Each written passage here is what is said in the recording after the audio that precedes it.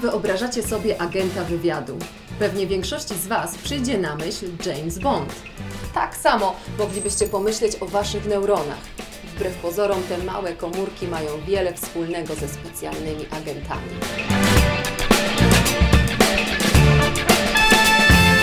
Po pierwsze, filmowy agent wyróżnia się wyglądem zewnętrznym.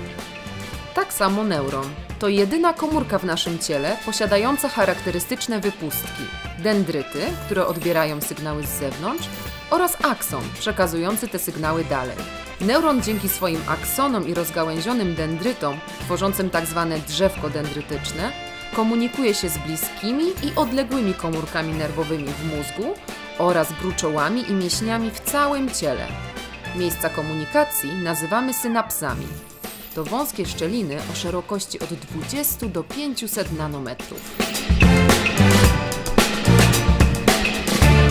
Po drugie, agent posiada specjalne narzędzia, dzięki którym działa szybko i precyzyjnie. Większość neuronów jest wyposażona w specyficzny gadżet, tak zwaną otoczkę mielinową, która osłania aksony.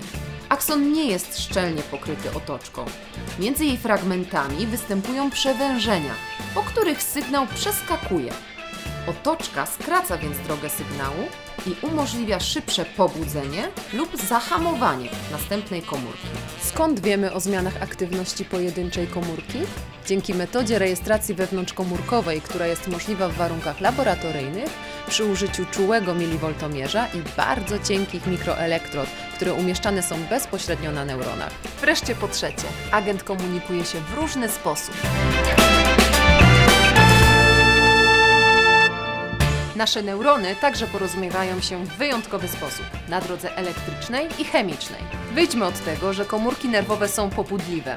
To oznacza, że pod wpływem odpowiedniego bodźca, takiego jak na przykład uszczypnięcie, na aksonie powstaje potencjał czynnościowy, czyli impuls nerwowy, który biegnąc wzdłuż komórki natrafia na przepaść, szczelinę synaptyczną. Na końcu aksonu uwolnione zostają neuroprzekaźniki, czyli związki chemiczne, które każdy neuron pozyskuje z substancji pochodzących z pożywienia i dostarczanych do mózgu razem z krwią. Uwolnione pod wpływem potencjału czynnościowego neuroprzekaźniki wędrują poprzez szczelinę synaptyczną do kolejnej komórki w naszym mózgu. Wiążą się tam ze specyficznymi receptorami, czyli białkami, które sczytują dane z nośnika chemicznego, czyli z neuroprzekaźników, i przetwarzają je ponownie na nośnik elektryczny, czyli impuls nerwowy wewnątrz drugiego neuronu. Naprzemienna sygnalizacja elektryczna i chemiczna jest kluczem do przenoszenia informacji na duże odległości w całym naszym układzie nerwowym. Nasz mózg działa jak siatka agentów. Co prawda neurony nie mają garniturów, bicepsów ani angielskiego akcentu, ale świetnie realizują swoją wielką misję.